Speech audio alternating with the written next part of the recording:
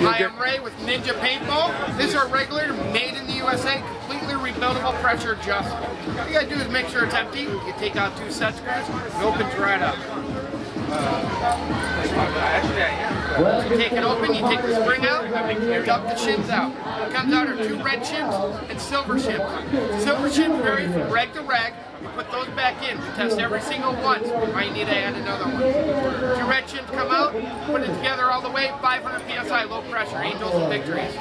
Take it back apart, put in one red shim, pick up your Luxe or Shocker, go out there and play. Do it again, take it apart, put in two, you got 800 psi high pressure for Eagles, DMs, and everything else. Grab your Mondo 98 and play in the woods.